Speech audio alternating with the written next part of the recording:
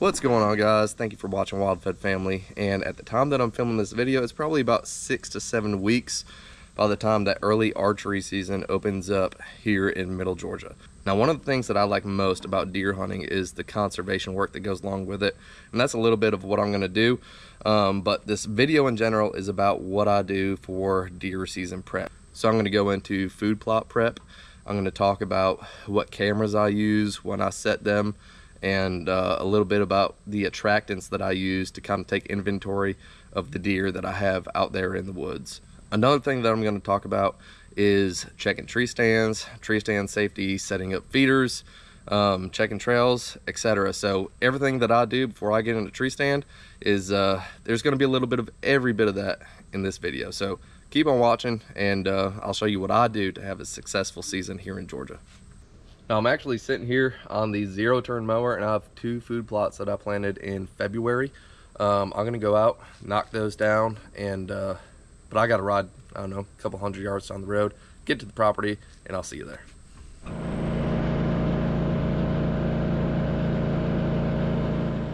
All right, so I made it out to this right of way and it's basically an old power line that goes back to an unserviced building and uh, this is my main access point for the property. Um, it is also a great spot to sit and hunt. I get a little ways from the road, I have a ground blind that I'm gonna set up and a feeder that's a couple hundred yards from the road.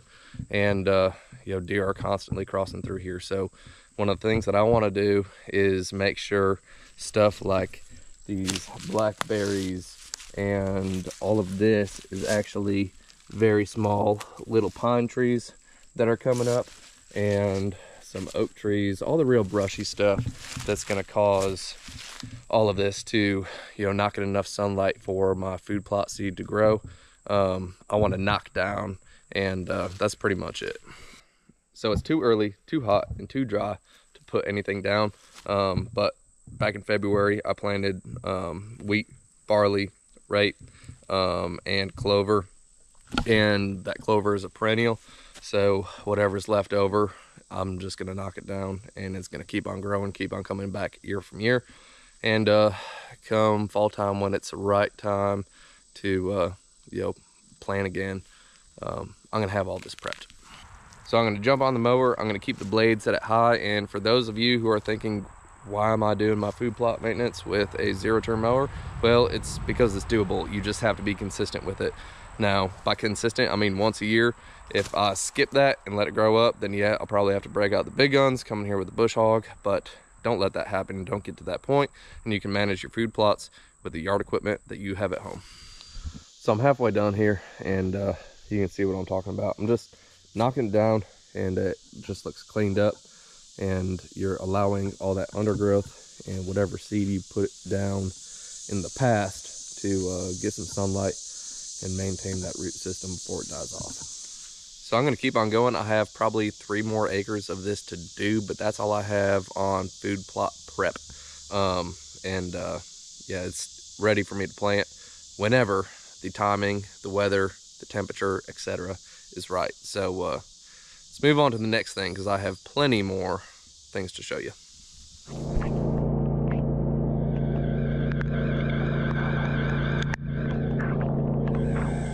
Now it's another day and I am at a location a couple hundred yards behind the house and I have a few things up my arsenal in my, I have, a, I have a few tricks up my sleeve that are going to help me locate some deer and uh, get some great pictures. So check this out.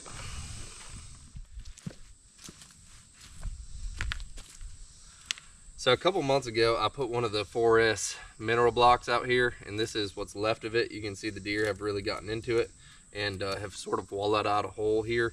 Um, I've found that in the springtime, um, they're, they go a little heavy on the mineral, uh, but right now, I'm going to use a salt heavy block that I get from Tractor Supply, which is you know roughly 95% salt, and uh, it's a little more dense and it lasts me throughout the season. So I'm just going to run that, set it right here where the deer have already found this mineral site.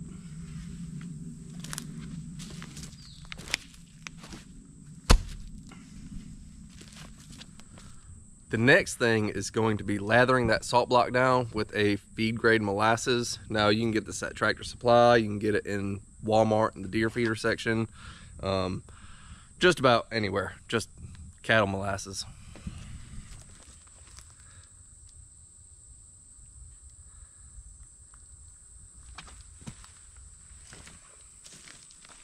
Well, now that molasses has a nice sweet smell that's going to go drifting through the woods, I'm going to break out the big guns and uh, give them something that they're really going to love. So you've probably seen me use this in my other videos, and that is because it works. So I'm going to take some of this 4S draw, I'm going to sprinkle it on top.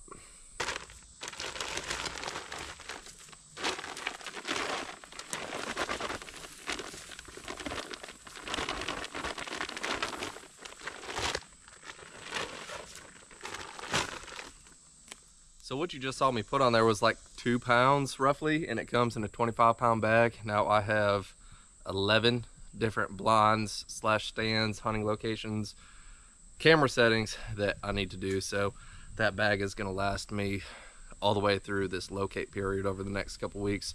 Draw the deer in and they're gonna keep on coming to the salt lick. And uh, yeah, I'll be able to see who's here hanging out and who I'm gonna pursue in the next couple weeks. But none of that does me any good if I don't have a camera on them. Now, this is just a cheapo Tasco camera from Walmart.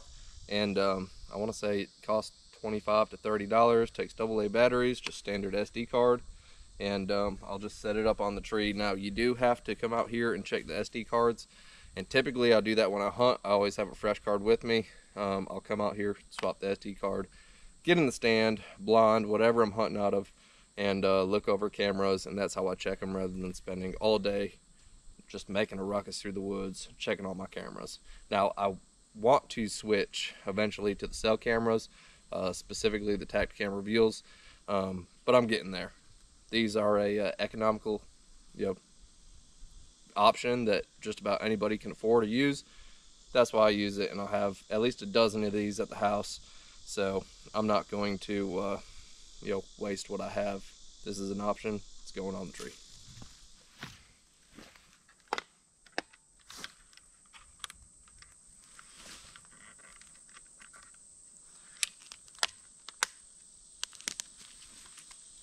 Only 10 more to go. I'll see you back in a bit.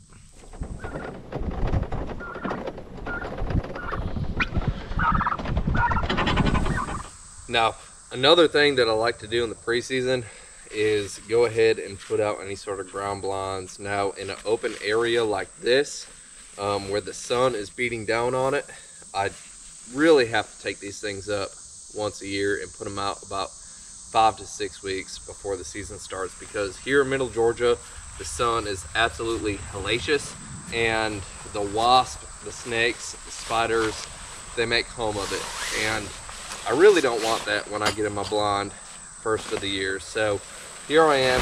I'm to set up this ground blind. So I'm going to make sure the deer get a little bit acclimated to this and this blind is going to be in good shape in about five, six weeks when I come out here to bow hunt it.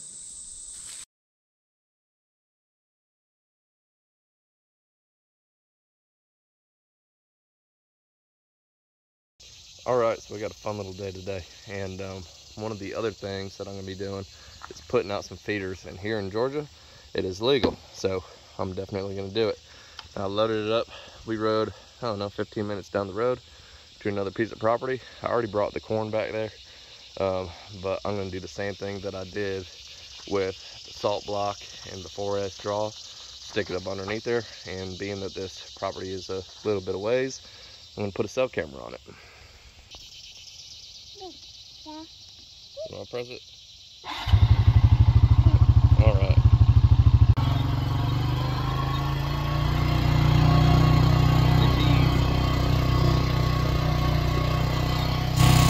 Now, there has been one major change since the last time that I was out here, and that, when I was pulling up, I realized that there's some hogs out here, and um, I've never seen any sign of them, um, but they found it now. So, I wasn't uh, turning the feeder on and running the feeder, but because we got the hogs here, I might draw them in and uh, do a little damage control. So like I said earlier, I did not plan on putting the battery in and actually turning this feeder on for like another four weeks. But since I have signs of hogs, um, I'm gonna I'm gonna keep it running. So I just uh, got it filled up, tested, battery hooked up, and over here I got the cell camera hooked up, ready to go. Blind is ready to go. So as of now, we are ready for early archery season. So I actually have one more feeder to set up and uh, I'm gonna go back to my house and it's the property right behind it. So um, I'm gonna work on that. But that feeder actually got two of them yesterday. They were on sale at Academy. They're the game winners and they hold 200 pounds of corn on sale for 89 bucks. So if you uh, see an Academy and you're in need of a feeder, stop on by. I mean, it's a pretty sweet deal that you don't find too often. All right, so one more quick tip. When you do set up feeders, I like to program to feed in the morning. So this one is roughly half hour after sunrise. It's gonna go off and um, it's only go going off for three seconds. I just want a light feed, um, not, not anything too heavy.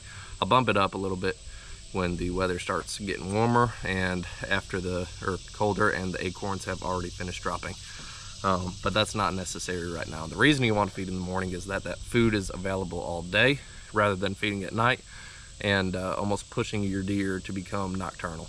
So just feed in the morning and uh, give them plenty of feed. They have all day to feed on it.